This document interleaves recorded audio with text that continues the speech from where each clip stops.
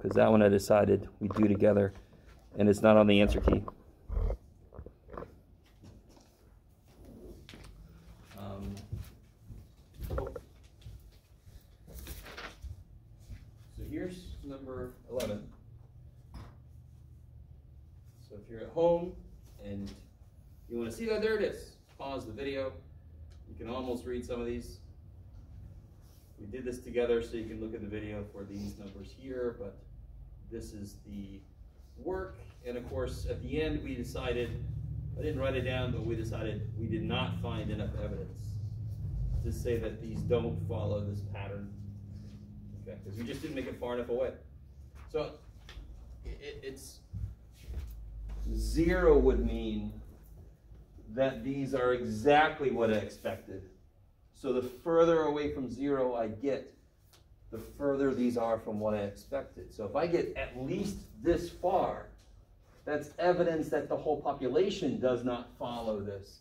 We didn't make it far enough away. We're too close to zero. So we can't say that the, it doesn't follow that pattern. Okay. So what I want to do right now is I want us to do this problem here, number five. Okay.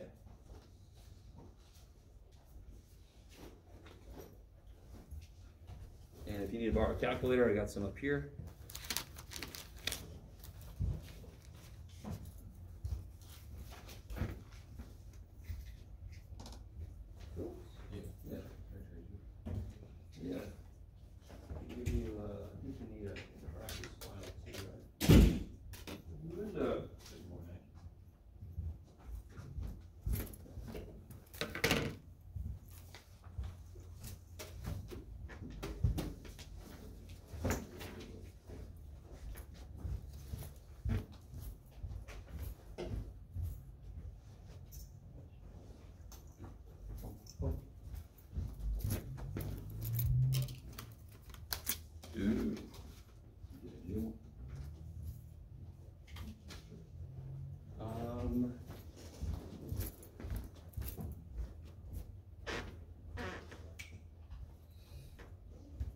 Anyone else need a copy of the practice final?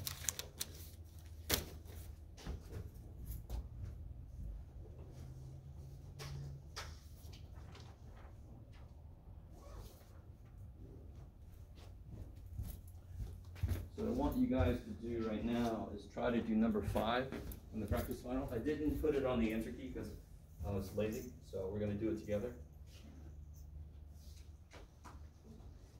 5A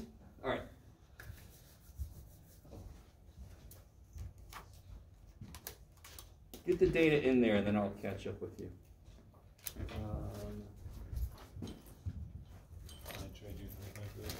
yeah.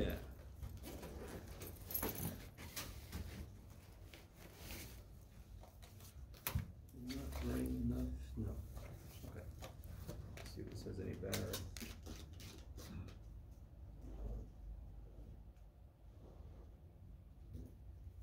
No, it's got enough, okay. Sure.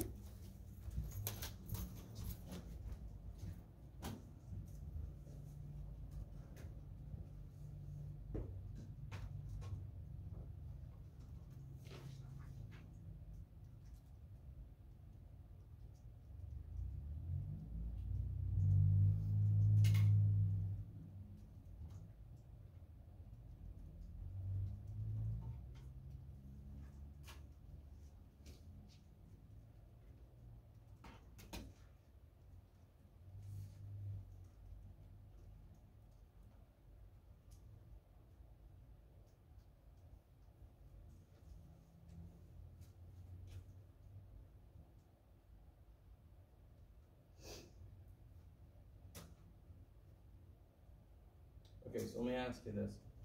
Part A wants you to figure out the ninety-nine percent confidence interval for the true mean weight. So when people do this, they always do the exact same mistake. Um, with, where are the weights? On the right. They're in list two, yes? So when you do, how do I calculate what I need to get the confidence interval? What do I need to construct the confidence interval? What do I need to calculate? Score? Okay, we do need a z-score eventually, maybe. Or a t, I don't know yet. Where are we going to get the standard deviation from? Where are we gonna get the mean from? One? Yeah, one var stats. But when you go to do, let me just make sure everybody's with me. If I give you a list of data and you have to get the mean and the standard deviation, don't, there's, uh, you don't have to do it by hand anymore like we did back in chapter two. After that first test, I said we're not gonna use that. You just do one var stats. The, the trick is, you better make sure you pick the right list, right? So right now, I've got list three for some reason. So I'm gonna make that list two. Okay. You guys all with me? Okay, so then I know that, uh, X bar is seventy-five, I know S, right, cause this is a sample, is fifty-nine point one six seven. N is nine. Now N is, is N big enough? But what saves me? Why is N not big enough? What would it have to be? Bigger than thirty. So what saves me? Assuming. Yeah. We're assuming it's normal, yeah. In general, you probably shouldn't do that, but I told you you can. In fact, I said it twice, I love it. Um, so what, which confidence interval formula I'm gonna use? There's three of them, right? I'm definitely not gonna use the one with p hat and stuff. This is not percentages. So which of the first two am I gonna use? The T one, because I only know S. I don't know this population standard deviation. Are you guys? That's one of the biggest misunderstandings, and, and, and unfortunately, some stats teachers don't teach this or something. But T scores were invented for the situations where we only know the sample standard deviation. That's why they were created. So of course that's when, and of course I told you guys that the, the two formulas are notes. You're not allowed to have notes on your formula sheet, but the formulas are notes. X bar plus minus Z sigma, X bar plus minus TS. So I know what goes with what. So can you guys take a minute, don't say anything. Look up the T-score for this situation. What's alpha? Yeah, 0.01. How many tails, since it's a confidence interval? Two. So just take a minute. You need one more thing, and then you can look up the T-score. Degrees of freedom. Yeah.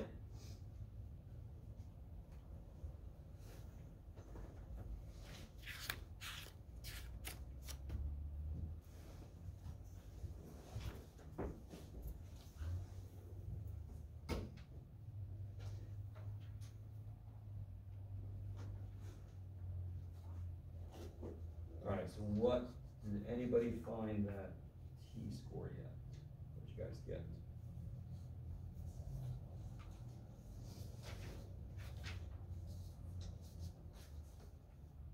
Three point three three two five. Yeah, so you got 0.01, two tails, so that tells me which column to look at, and then they just stop at eight. Just say it one more time, Cynthia. Three point three two five. Three two five, No, five It's of two. three point Three five five. five five, okay. Just crowdsourcing now. Did you guys, anybody verify that? Okay. Yes, I didn't get that. Okay, let me see. So, No, not the, oh, sorry, oh, you didn't get these? yeah. Okay. Oh, I'm sorry, I think I left the one out. Yeah, I got the mean was one hundred seventy-five. But you still didn't, you didn't get the, did anybody else not get these? I might have, let me see. Make sure I got all these in there right. 201, 178, 176. 22. 22, yeah. yeah. I was going to say. I love you guys. That's a really good example of just, that's the quickest check you can do. Um, is just make sure that everybody's got three decimals. I'm, I'm really sure that there's nobody in here that's 22 pounds. Um, so stat, cal, let me do this again. All right. Yeah, the next thing is we're going to start fresh. Alright. This is much better, okay, so X bar, one ninety-six point one one. You guys, I, I don't know if you guys are used to teachers in the past just telling you, I've had math teachers that said to us, yeah, I don't make mistakes. And my God, I am so human, it's crazy, so if you see a mistake on me, just say it, it's okay, yeah. Um, where am I at? Do, do, do. N is nine, degrees of freedom is eight, blah, blah, blah, so T is still be point three five five, is that what you said? Okay. So does that look more like what everybody got? Yes. So thank you, Daisy. Um, okay. So now it's just a matter of plugging and chugging into the formula. Um, let's see if I can draw- yes, sweet. So I've got all that information, and I know I'm gonna use this thing here.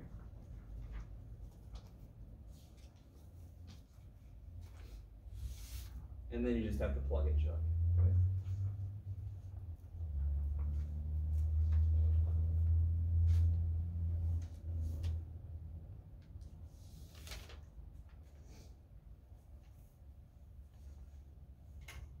Uh, As always, I ask you, it's a good idea to do the error first, a little bit easier.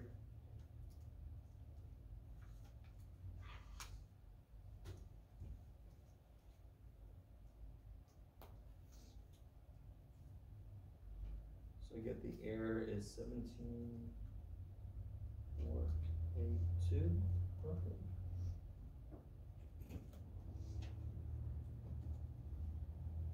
So again, you've seen multiple times on a test where I just give you a list of data. So you wanna plug that stuff in the list and just calculate what you need, right? And in that case, you almost are certainly gonna use t-scores because you're calculating your own standard deviation from the sample I gave. So it's almost definitely gonna be a t-score you use. We're doing number five on a practice final, just because I didn't put it on the, it should be. Thank you. Sure.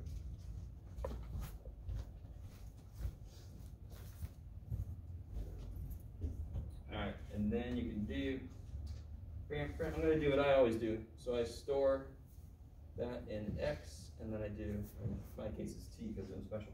One ninety-six point one one minus that, one ninety-six point one one plus that. So I get one seventy-eight point six three up to two thirteen point five nine, blah, blah, blah, blah, blah. Alright.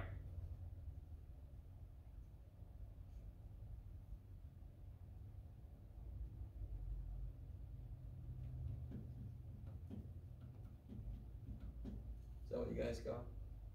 Yeah, okay. Now, if I ask you, if I don't ask you, you don't put it's okay, right? But what would the statement be here that we would make? We are Ninety-nine percent confident. ninety-nine percent confident that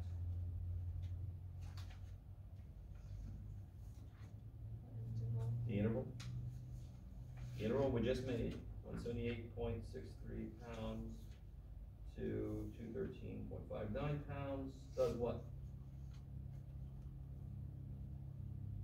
That's true. Contains true mean weight.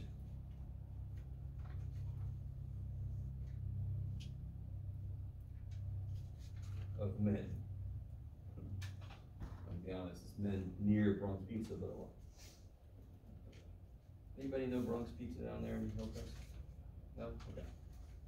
I used to, I was one of these points, to be honest.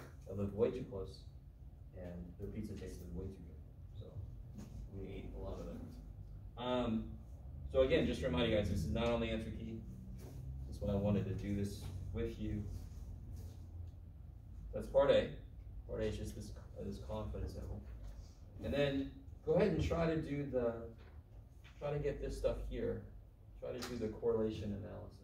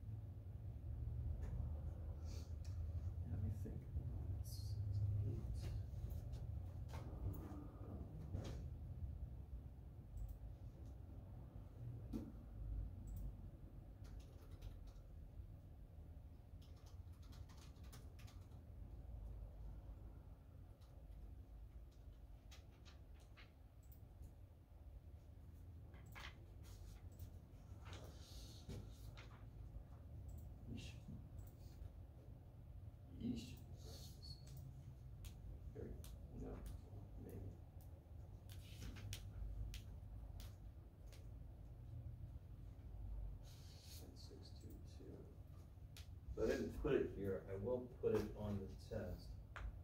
So R has to be greater than, I'm sorry, R has to be less than negative point six two two. To show correlation. So remind me, how do I get the line of best fit and the correlation, the R, how do I get those things? Where do I go?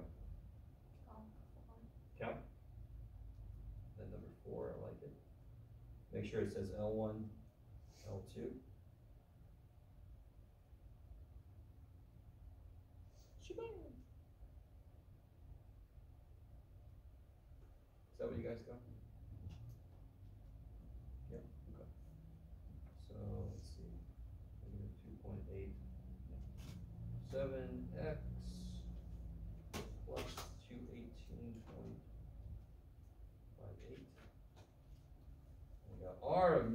0.907. I mean, what's your immediate reaction to that R?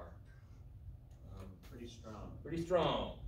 So when I say, uh, I will say interpret R, so that means it's a strong negative correlation.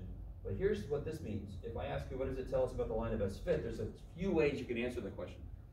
The fact that it's a strong correlation, what does that mean about the line versus the data points? The data points are generally pretty close. Yeah the, the data points are really close. They're tight to the line, right? That's one way you can say it. You can say that uh, since there's a really strong correlation, the data points will lie really close to the line. Or you can say we will trust the line to make predictions. Either one of those. Or you can say both. What the hell? Overload. Um, uh, uh, data points are close to the line. Or you can say, uh, we trust the line to make predictions. What do I mean by make predictions? Well, I say, okay, I just moved five miles away from Bronx Pizza. And after living here for a while, can you tell me what my weight's gonna be, right? This is obviously, I made this shit up. There's no reason. But anyway, I just thought it was funny because uh, I got really, really fat for a while. It's great. Um, oh, so part D, there you go. Forgot I had a part D. Predict the weight for someone who lives half a mile away from Bronx Pizza. So how would you do that? Do we have a way to do that? We have the equation. Yeah, we have the equation. Crazy. What does x represent in the equation? How many miles? Miles, because that's like an xy table. That's all it is. It's like an xy table. So if you just put 0.5 in the equation,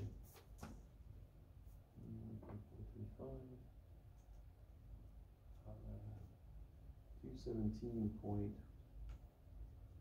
one four five. Is that right? Two hundred seventeen pounds. So two Two seventeen. seventeen point Or, one five. yeah, there you go.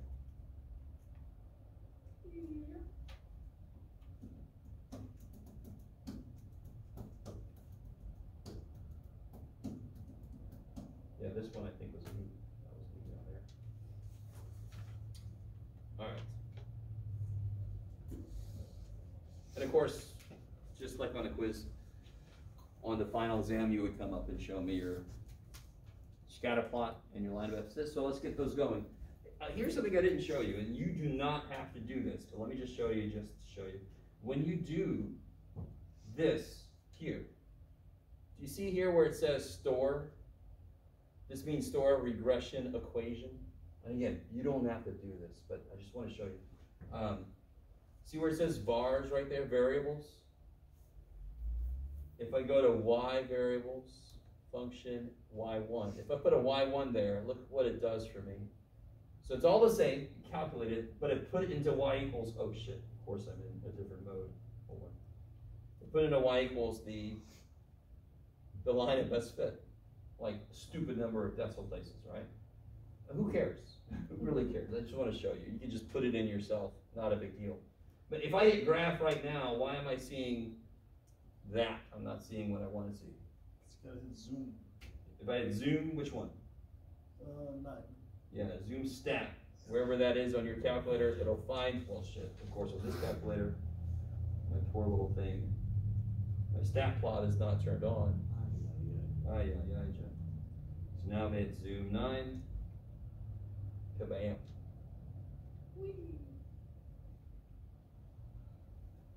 So please, dear God, on the day of the final, if you're having issues with the calculator, it's not showing stuff, it's whatever, just come up and show it to me. There's maybe something not, like I just did right now. There's probably something not selected, or you haven't zoomed right, or something. Right? Or you have a data point that's really freaky. So if I, if I go back, um, where am I? Here. No, I can't do that. Well, maybe so. Make this a twenty-two again. Alright, that looks really, look at that. I mean, so visually I can catch something that I put in there pretty, pretty wrong. Yeah, oh, okay, anyway. There's a lot of checks and balances here, but you always got me. Okay, so this is what I would need to see. And real quick, um, so what that line is trying to do is to graphically average all the points. Do you see how all the points above the line? There, there's quite a there's a few more points above the line, but they're closer than the ones below the line. So that's kind of like what it's trying to do, It's trying to average where all the points are. That's its job. Um, it's got a few other names. The, the its real technical name is the least squares line because it tries to minimize the square distance away from itself to every point. But let's just call it the line of best fit. That's the quick way to reference it. Okay. Um, now, if you weren't here last time, you should probably watch the video for um, so you can make your formula sheets if you need to. Um, but now I'm going to just open it wide up to anything you want to look at, any old tests, any old homework, anything from the practice final, um, any anything that's still not clear that you just want to clear up. Any questions? It's, it's wide, it's wide open. It's the last day of class. And then we have our final next week. And I always have students that ask me, do we meet for class next week? Well, no, no, next week is just finals. We have our final on Tuesday, and then you don't have to meet anymore. We're all done. Yeah.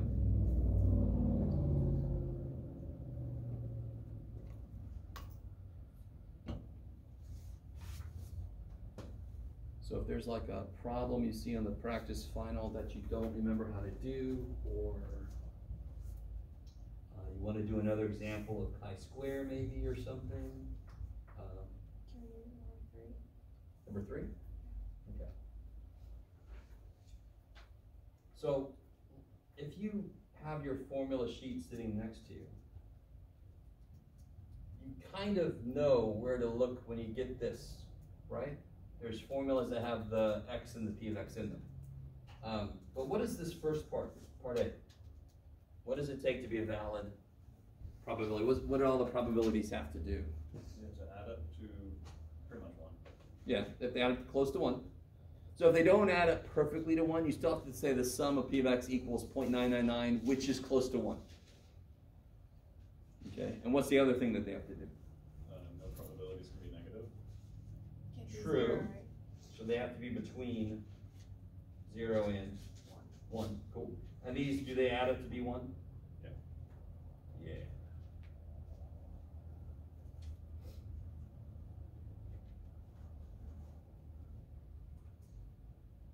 All right.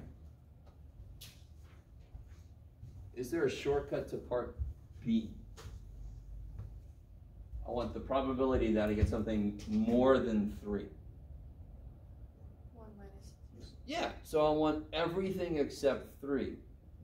So since all the probabilities add up to one, what are the ones add up to that aren't three? One minus 0.11. That's the only thing I'm leaving out. Or you could just add up four, five, six, seven, those probabilities. Either way you do it, what do you get? Point eight nine. 0.89 to guess. Or you can write 89%, either way.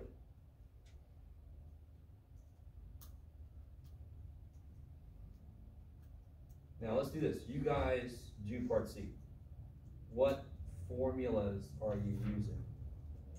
What's the formula for the mean?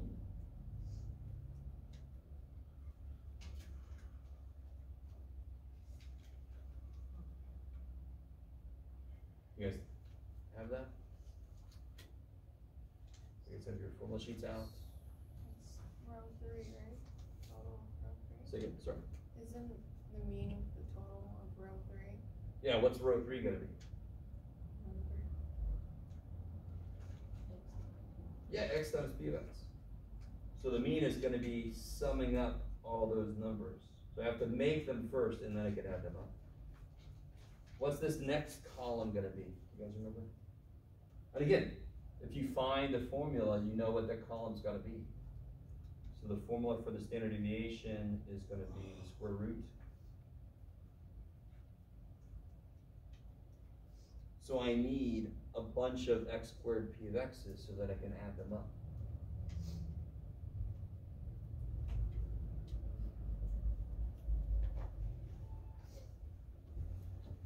Again, I know it's been a while, but I showed you where those formulas came from.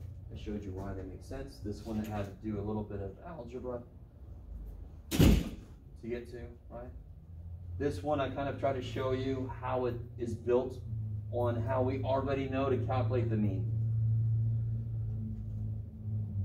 So you can do all this in the in the calculator. So this will be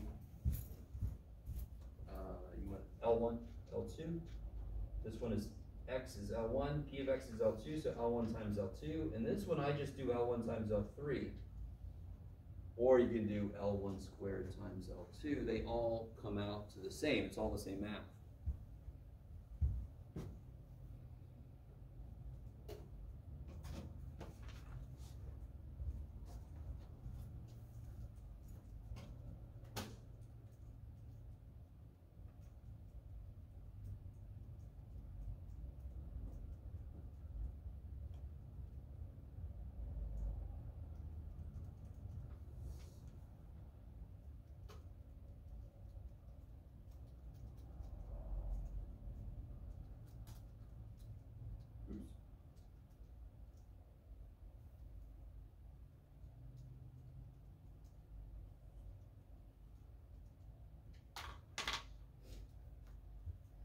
Oops. Do you guys get those numbers?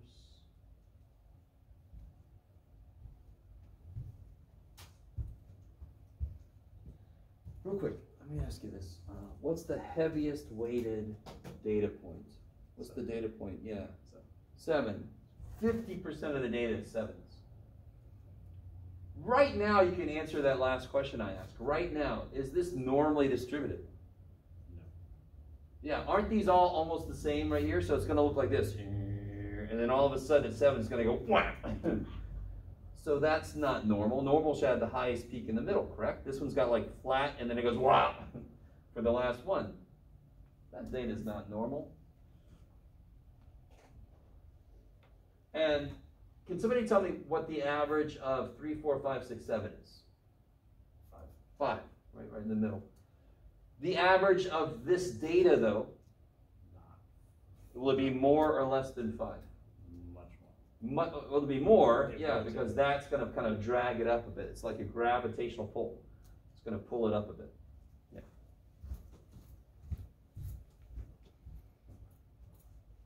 So, real quick, uh, let me see. Again, I'm gonna show you something. So you could do. Remember, we could go to list, and we could go to math, and we could go to sum, and we go. Oh, we go sum another. Not that bad, to be honest. I'm just playing it up like a like a like a uh, infomercial. Um, real, and you don't have to do this. If I do two var stats, one list one and list two, it'll tell me the not list one list two, Jack. If I do two var stats on list three and list four, part of what it tells me is the sum and the Son. You don't have to do that. Just want to show you in case you were curious. All the other stuff doesn't mean anything to me. I just want the sums. Or again, you see that's 5.77?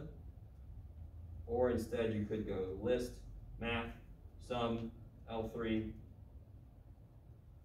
And the nice thing is you can just hit second enter and make, replace this with L4.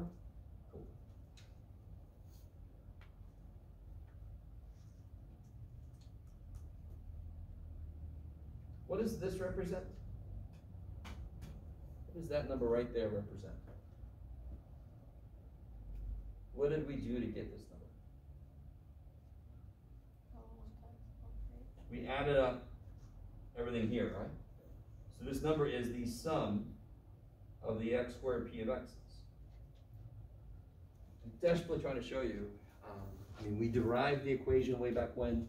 You get these numbers, and once you have some connection to what the hell you just did, I added those up. That's what that is. So that, wherever I see it, I could just put a 35.41 there. What's the mean, of course? 5.77, because that's what I get when I add up the xp of X's. So that'll be 5.77 there, right?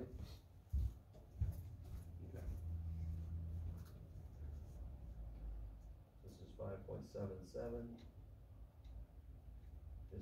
of thirty-five point four one minus five point seven seven squared. So try to put that in your calculator, let's see if we get the same thing.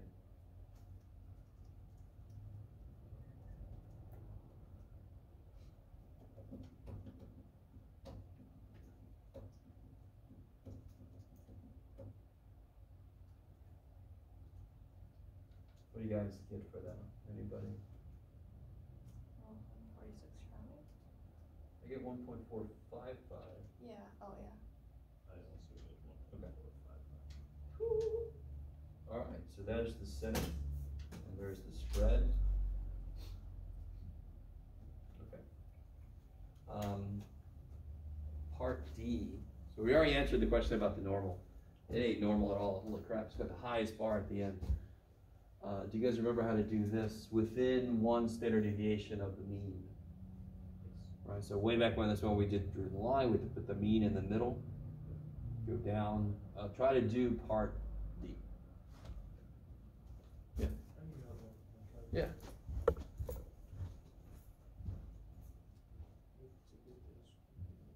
Oh, go up to L three.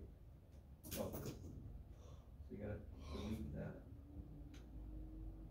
Okay, so go up to L three, cause you're trying to put like the whole list into one spot. So now you let L three equal L one times L two.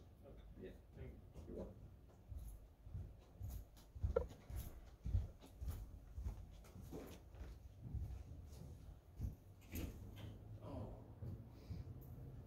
Yeah, so, you know, again, just to reiterate, on the day of the test, if your calculator gives you some weird error, just come up and see me if you can't figure out what the problem is.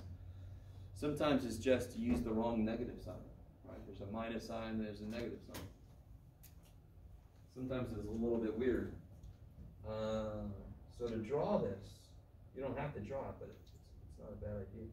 Five point seven seven. If I go down one standard deviation, where do I end up? I go down one of these, four point Three two, or three one five. three one five. And then if I go up one step, Over seven. seven point Two, two, one. two two, something. Okay.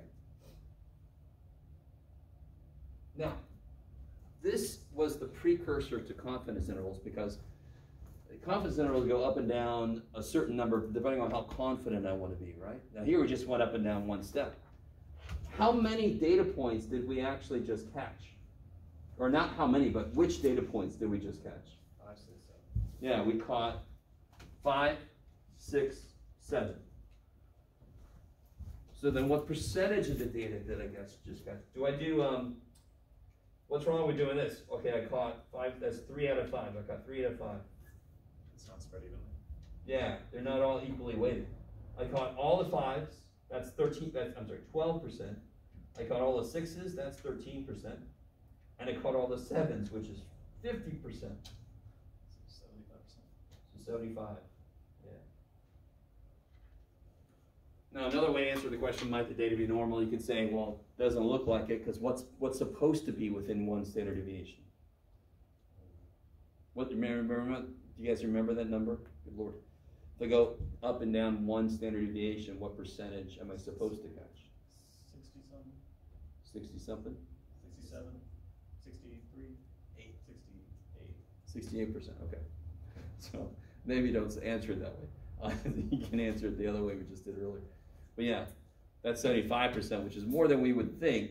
Um, but yeah, it's, you could tell already it's not normal just because of the distribution. The highest peak is not in the middle. Okay.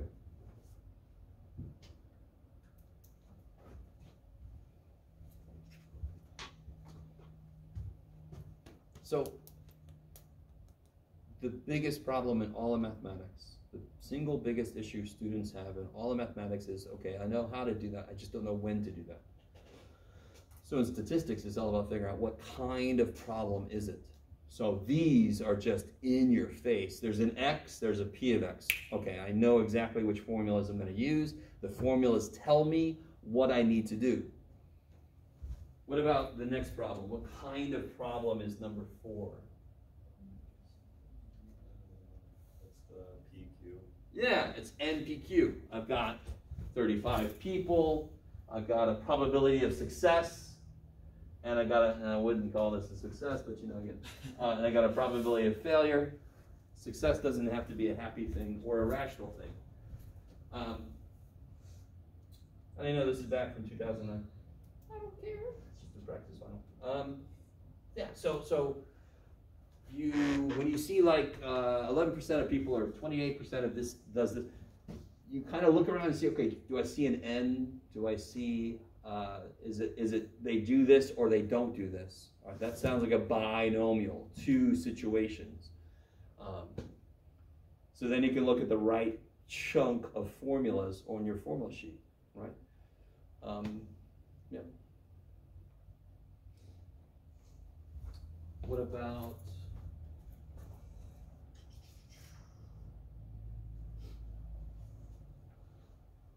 number six? Mean, that one's pretty straightforward, right? But just to let you know, on the practice final, I was a little extra evil, but on the actual final, I will have A, what's the claim, set up your hypotheses, B, do you use Z or T score, C, set up the rejection, right? I'll- I'll have all the steps. Now up here, I'm going to ask for it's the practice final, you can look at your notes. Um, but on the actual final, I have this, the steps. How many other hypothesis tests are there on this practice final? Two more? This is a hypothesis. What other one is a hypothesis test? Nine? Yeah, nine's a hypothesis test. Ten? Ten's a hypothesis test. Yeah. Holy shit. Now, on the actual final, I can't have three hypothesis tests because they take a while to do, right? So I'm not going to have three hypothesis tests. But again, practice final. Ah, I can make it whatever I want to. And will you guys, uh, let's see if on the, oh, get, can we try to get everybody get this one right on the final? Uh, what does a z-score of 2.14 mean, just by itself?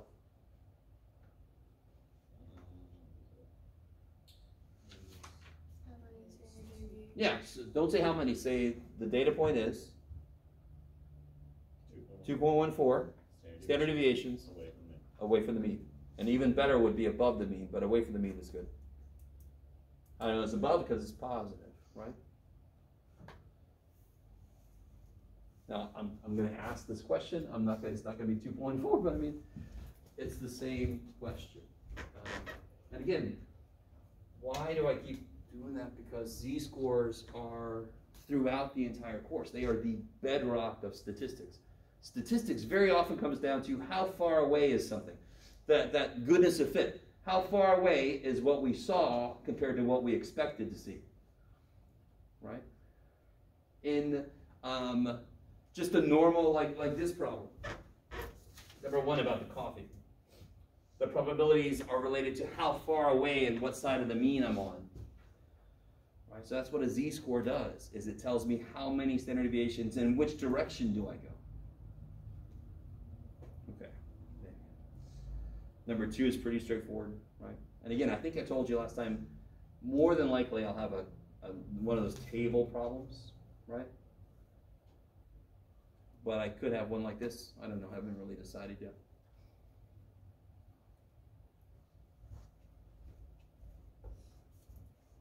Okay. Um.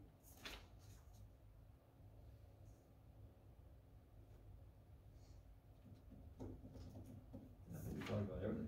So let me, The answer key.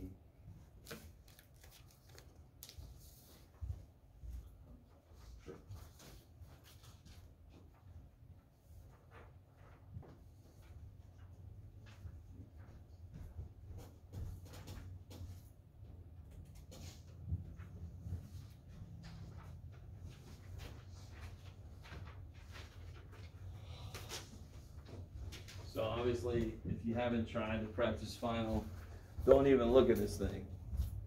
Um, Is there anything weird on here? I don't think so. Yeah, number five we did earlier. Number eleven we did yesterday. I know it says one, that's just because my printer likes to mess with it. Um. Something else weird? No. Okay.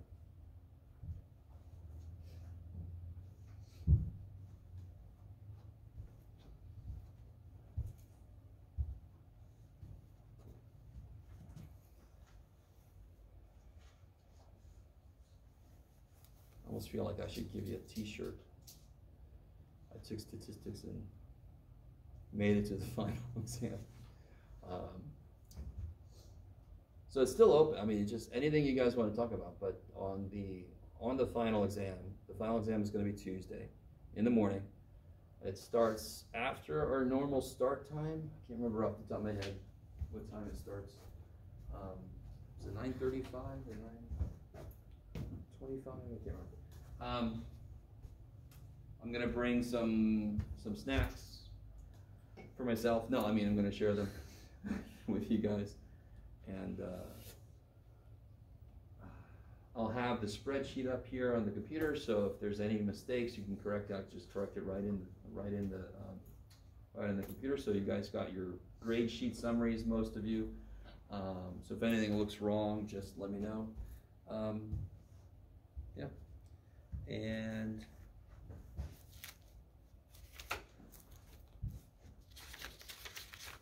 okay, I think everybody got their stuff. Oh, yeah. Have one thing. Uh, So if you got homework back from me and it doesn't have anything written on it, I just assumed it was good. I really just tried to grade the homework that was given to me before the day of the review and the homework for people that made the lower grades on the tests. You guys are very nice this semester and said, I don't want Jeff to be overworked, so a lot of you guys just didn't give me homework. You know, appreciate that. Oh, geez, Jeff, that's passive aggressive. Um, but, uh, yeah. So I always tell my students, you make homework your own. Do as much as you can. I, like I said, I was I had three jobs in college, and I just did as much homework as I could just to get ready for the test. So I totally understand. Um, but you know, you don't want to hurt yourself in your odds. So you still can turn in if you never turned in chapter one homework. You can still turn it in on the day of the final, right? Um, why do I? And, and I'm not going to give you full credit, but you're going to get more than zero, right? Uh, why do I do that? Because the final's cumulative anything you do now, any corrections you make, any homework you do that you haven't done yet, any of that stuff it's going to get you better prepared for the final. So I want you to be motivated to do that. Oh, and did I tell you guys? Let me see. If you've been to Canvas recently, I don't remember if I showed you this. I'm not sure if I remember my password. Yes, okay. So if you go, I've got my final exam week office hours. Now, us, for this class, our final exam week is over pretty quickly. We're the, one of the first, I think it's one final time before us. So I'll be in the Math Study Center for an hour, then I'll be in this classroom before the final starts, and then we'll take the final. And then I'm in the Math Study Center for a bit afterwards, if you wanna come by and like, I don't know, uh, turn stuff in, I really need it given to me, but if, you know, if you need to, you can get it together, you can bring it to me, and then I'm back in the next day, but, uh, after the final, you could just shoot me an email saying, hey, Jeff, when you get a minute, let me know how I came out in the class, and as soon as I get it graded, I'll reply. So don't feel like, I don't wanna email him, he's not, no, just email me, and I'll come back to it when I'm done? Uh, if you don't wanna wait for the grades to hit self-service. Um,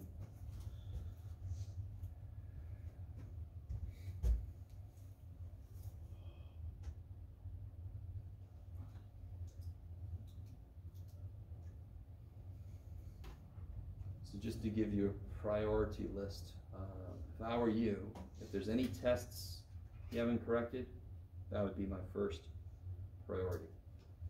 Then, um, maybe I would look at the practice final if I haven't done that yet. Then I would do quiz corrections, and then I would do homework stuff. Any homework you haven't done, any corrections you haven't made, that would be my list of priorities. Because the one thing I don't tell my class too early in the semester is, I do not let homework fail you. If I calculate your grade and I don't include the homework grade and you passed, and then when I put the homework grade in, you fail, you passed. I don't let homework fail you. Does that make sense?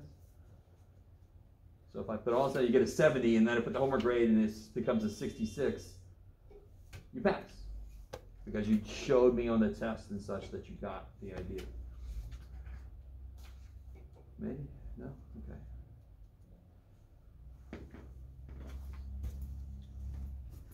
And then also don't forget the fact that I do something really strange. I don't know if you guys really understand why I do it, but remember how the test average is fifty or fifty-five percent? You guys remember that? Yeah. So once you take the final exam, whatever of these three groups of things is the lowest, I count it for less. So if you really bomb the final, I'm gonna count it for twenty, I'm gonna count your test for fifty-five, and I'm gonna count all this for twenty-five. Does that make sense? So whatever the lowest average out of those three groups, I count it for the five percent less, and I count the other two for the five percent more. I think I told you guys why I did that because uh, it's a little bit arbitrary what I count each group. So I, I thought to myself one semester, if I pick one way to do it and somebody would have passed if I would have picked the other way to do it, that seems mean. So I just do it different ways and see whichever is the highest.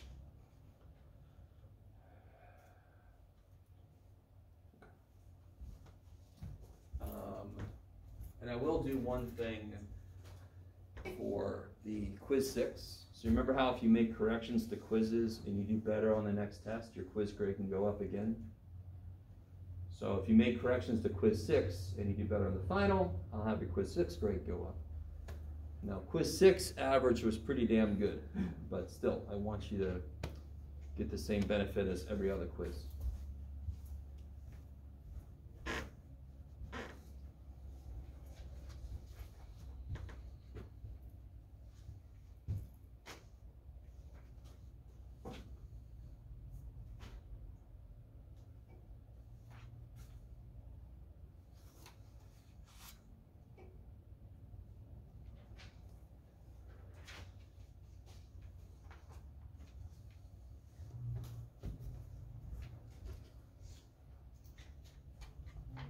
Can we do number four? Uh, Let's take a look at number four. Let's, let's collect our stuff. For part A, what's N? Thirty-five? Thirty-five. What's P? Nine percent, Point oh nine? What's Q? point nine one. Yeah, the rest. And then I wanna know the probability that I get four.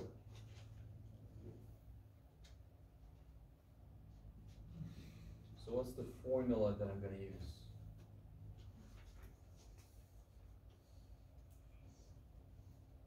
So I got an NPQ problem and I want the probability formula for that. So which formula is that? Yeah, it's got N, P's, and Q's, but it's a probability formula. Which formula is that? The probability of X equals something. And see that? Yeah. So I wanna use N, thirty-five, choose four, right? Mhm. So that means I have four successes, and I have how many failures then? Thirty-one. Thirty-one. Now, I sometimes get people tell me the answer to this is like one point six nine. If you get one point six nine, can anyone im- just, what's the immediate problem with that? That means that there's a hundred sixty-nine percent chance. Hundred and sixty-nine percent chance. What, what the hell does that mean? I'm gonna win that game so hard that people around me are gonna win too, or something, right? I don't know what the hell that means. So, um, that normally means you did not make these decimals. And what the calculator is really telling you is one point six nine E four, some, some huge crazy number. Um, so let's see if we can all put that in the calculator. Let's see if we can all get that answer.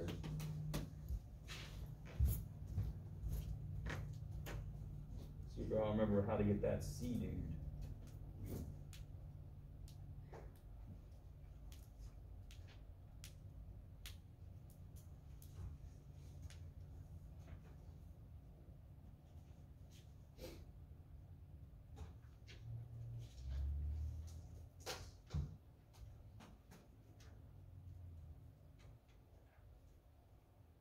Alright, so let's see, for everybody trying this out, you guys get a number.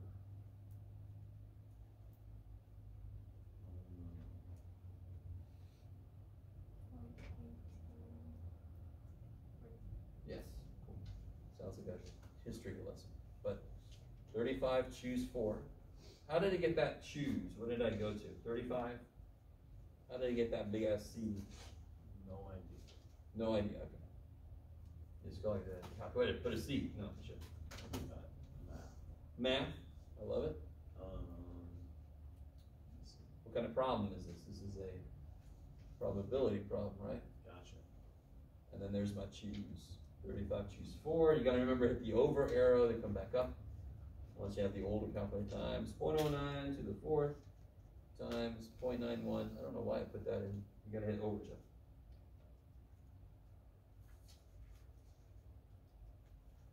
Four, hit uh, the overburden to the thirty-one. Bam. Eighteen forty-six.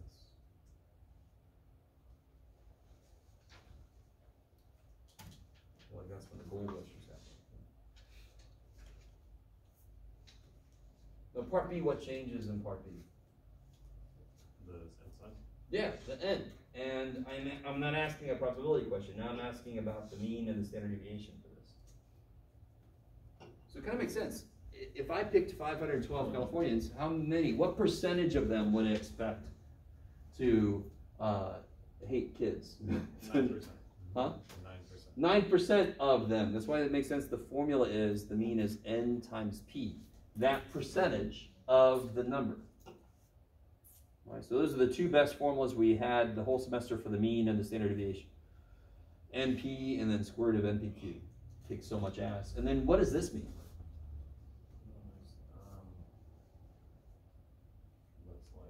How far do I, this is back in the day when we had just one definition of unusual. Yeah, you go up and down two steps. Which now, looking back, it feels like we're making a confidence interval, which is really what this is kind of about.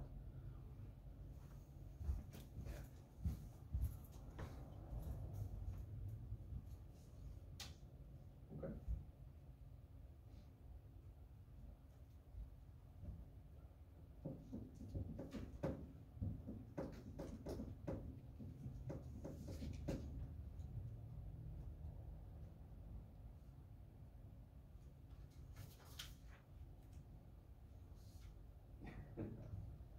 Yeah, I really squunched it all up on the key and then I had extra space in the back, so oops.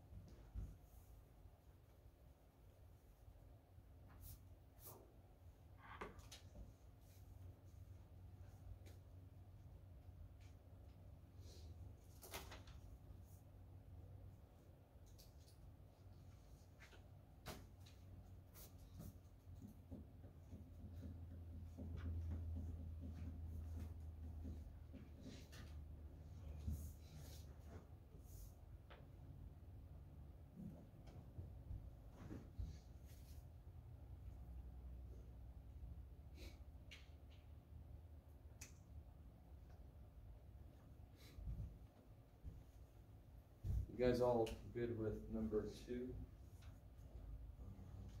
Yeah. Part D, real quick. I mean, every single one, A, B, and C. For A, B, and C, what's the denominator gonna be? You can see the six. Because I have six total pieces of paper. For part D, I'm actually given information, so I can, for part D, I know it was a green piece of paper. So now how many pieces of paper am I talking about total?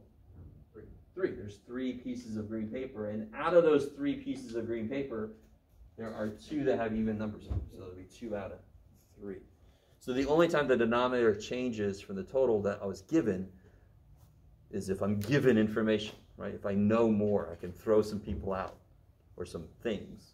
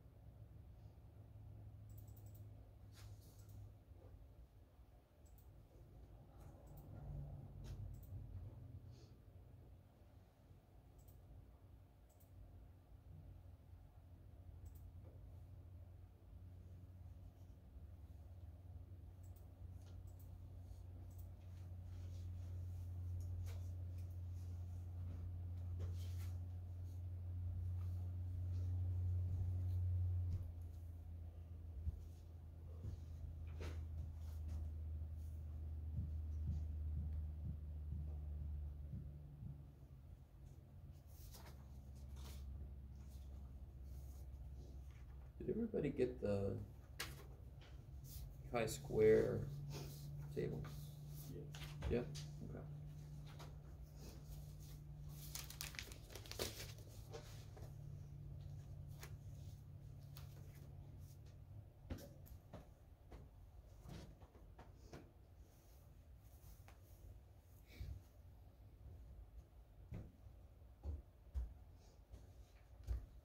So you guys could work on um, quiz six corrections if you wanted to get some help with that. You can work on some problems with the practice final if you want to do that. Um, if at some point you feel like you've gotten what you can, then you could, you could head out. That's fine. Um, I just want to make sure this is productive time.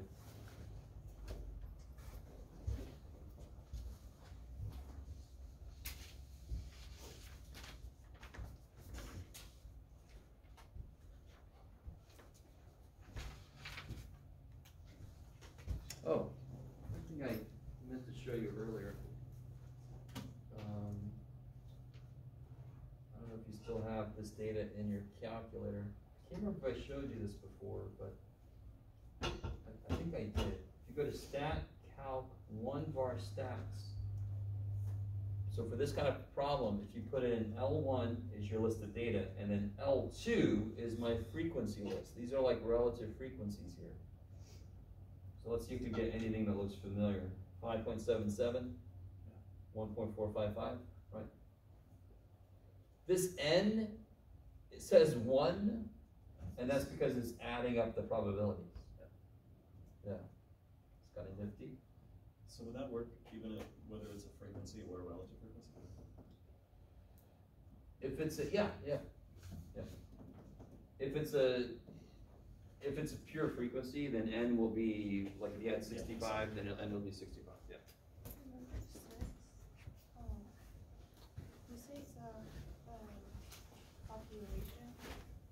For which one? Number six, you say it's like a population? Yeah. Um, I don't, how could I tell if it was population, cause I thought it was a T, Oh. Okay. that's I was like, wait, That standard deviation that they gave us, did it come from a sample? Nope. So that's the population. So if I say all stat students, or in this case historically, it's assumed that the actual mean is 1.43 and that the actual population standard deviation is 0.25. Okay. It did not come from the sample we took, so it's a Oh, population standard. Okay. Thank you. So on the test, I'll be a little more, just a little more straightforward. This one was a little bit hidden, I agree.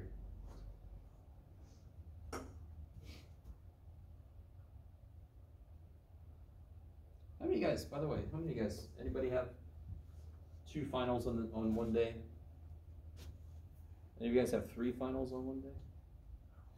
Okay, that, that has I- I happened. had two and two. I've had three finals that I gave in one day and uh, I was so wiped out.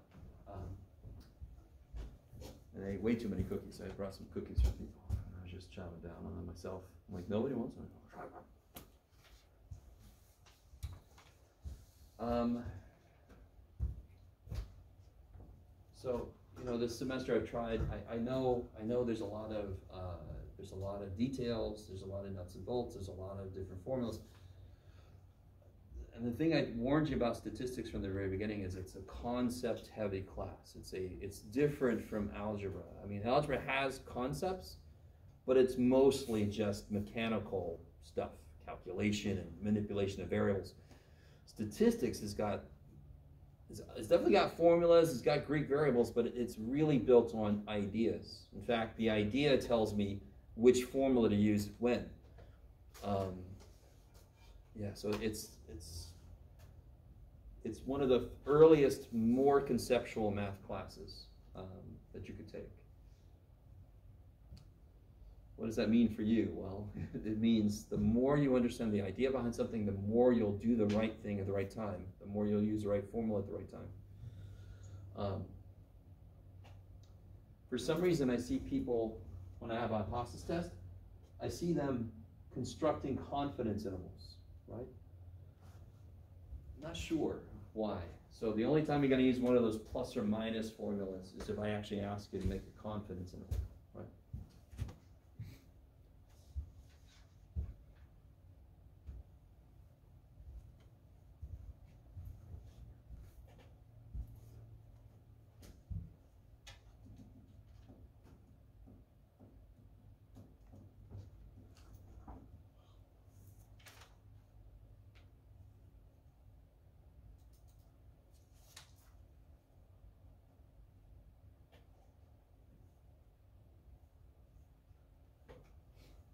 What was the other way I could give you the expected stuff for a goodness of fit test?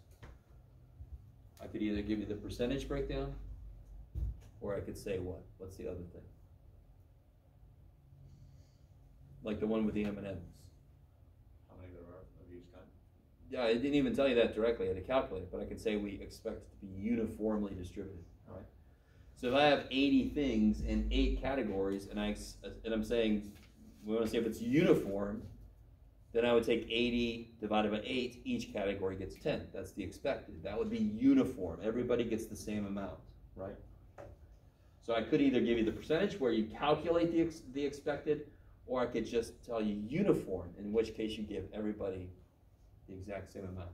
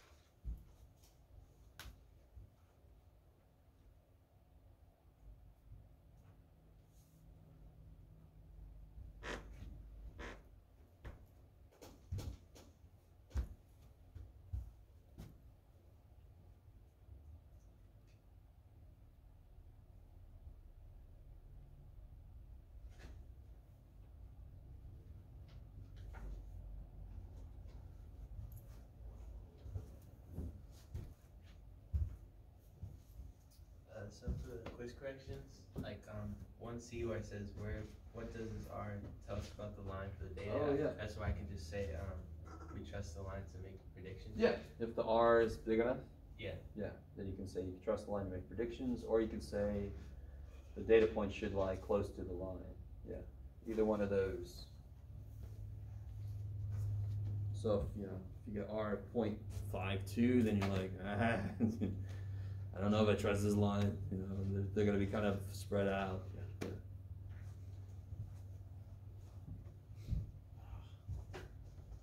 I do have a question. Yeah. So if you, if, if I'm still okay to take the test I haven't taken, do you want me to do that morning? Oh, yeah, was- so one thing I was gonna say was, if there's anything you haven't taken, in terms of test or quiz at this point, and you don't have something set up with me to do it, then I'm just gonna come to the final in place of the missing. Okay. Yeah. So the saying, uh, finals just gonna kind of become more important, yeah. I'm same page. I was gonna say like, if you want to, like, I would do the final and bet the two tests. No, at best, I would, I would make you, tr- or try to see if you can come to my other final. Yeah. So I have one student who's coming during my other final to take the test. Yeah, I can do the final and have that cover it, if you're okay. Yeah, with so I could, since I'm doing that for him, I could, whichever way would work better. I'd rather just do the final. Okay, And then have that cover everything. Yeah, alright. Cause having, you know, all my eggs in one basket is more comfortable. Got you, understood. Less baskets to keep track of. Yeah. I already have three other classes of baskets to keep track of. Yeah, you don't want one class to have multiple baskets, that would suck.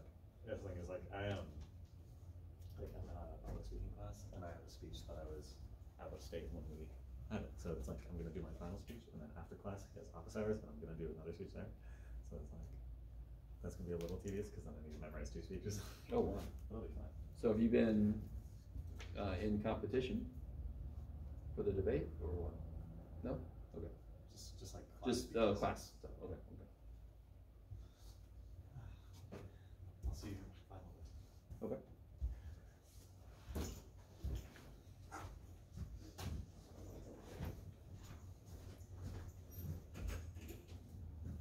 Did you do Wednesday? Oh, yeah, okay, so. What does that P mean, the P ninety-five up there? It's capital P with a little ninety-five, what the heck does that mean? I love it, Sabrina's like, dude, I'm the one asking you that. Say again? Ninety-fifth percentile. What does it mean to be in the ninety-fifth percentile specifically? What exactly does that mean, to be, if you're in the ninety-fifth percentile? You're nine, you're five percent away from a one, something? Ninety-five percent below. Ninety-five percent below. Yeah. Ninety-five percent below you, so it's gotta be up here, right? Can you find the z-score for that? So I want a z-score that's got ninety-five percent below it. Can you look that up in the z-score chart? So in this case, I don't know the z-score, but I know the area, so you're gonna look in the body of the chart.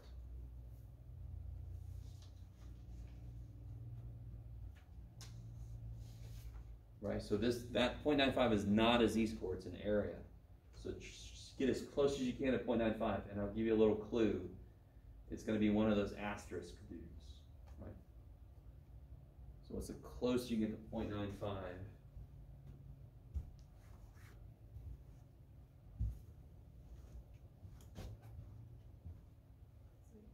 One point six. Yeah. And if you follow this guy, it just splits the difference, one point six four five. Um, so what do you do with that? Well, what this really wants to know is, what's the amount of money somebody could spend to be in the ninety-fifth percentile? So you need to figure out an amount of money, which is X. So this is when this formula is used. When I know the z-score, but I wanna know what the actual raw score is, in this case, the money. So you looked up, um, one point six four five, so that'd be the mean plus one point six four five standard deviations. So kind of, I really want this to make sense. You have to go one point six four five steps up to have ninety-five percent below you. So then if I go one point six four five steps up from the mean, I'll end up at the right money amount. And this is the formula that tells you what a z-score is. It's the number of standard deviations from the mean to the data point.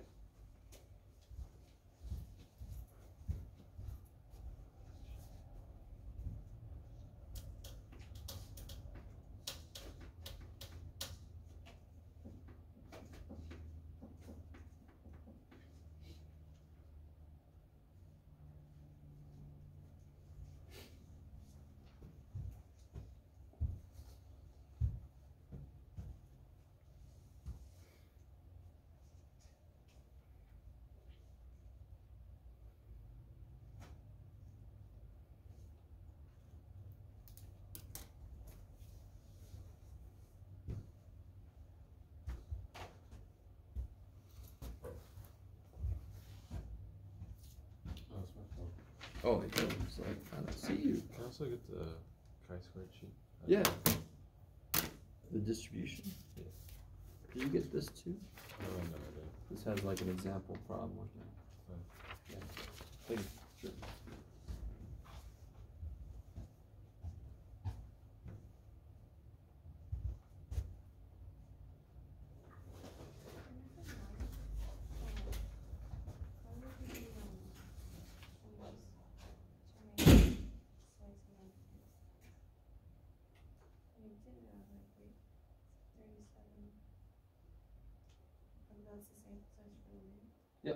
sample men, so that's the sample mean. Oh. All females, so that's the population mean. And I'm testing the claim that the males and females are the same. So I'm testing the claim that the males had a mean of 290.6. Oh, okay. Now it's, I agree with you, that's worded a little weird because the yeah, original problem was a problem from section 10.2. Oh, okay. And I should have just made a new problem, but I tried to like rewrite it to be from chapter 9. Yeah, it's definitely worded strange, and I apologize. I also have a number chapter one. Oh, also clicked it. Awesomatious.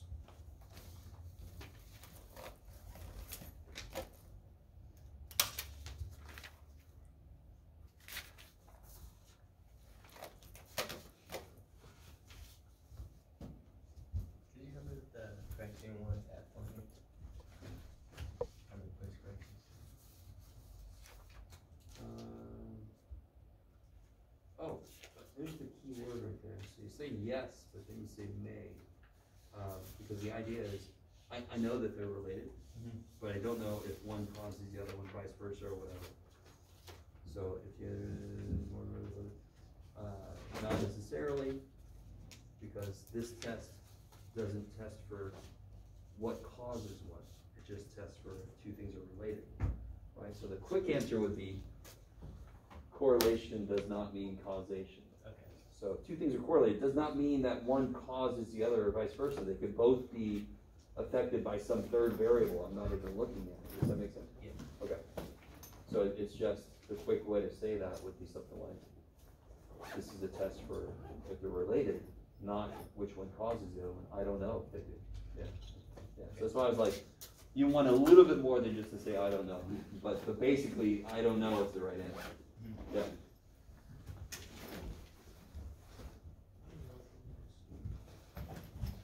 Yeah, so,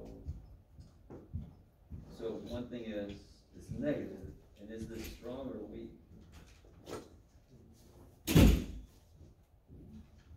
So if there was no correlation, that would be closer to zero. If there's perfect correlation, that would be closer to negative one. Yeah, it's pretty strong, you know, strong negative correlation. And then, like we said earlier, you could say, therefore I trust the line to make predictions, or you can say, therefore the data point should be really close to the line. Right. Well, this just tells me that it is less than that. It's not- So if we would've gotten negative point four, that would have not even have been an evidence of correlation. We would have said, I can't even say there's correlation. So it beat that, and it beat it by a lot. So, you know, so therefore, that's why it's strong. So if we would have gotten, uh, negative point five three, then that would have been weak correlation. Cause it just barely beat the minimum, right? Mm-hmm. Okay. So it's telling us that, or that this is just a strong. Yeah, the correlation is the strong negative correlation, and then we can trust the line to make predictions, yeah.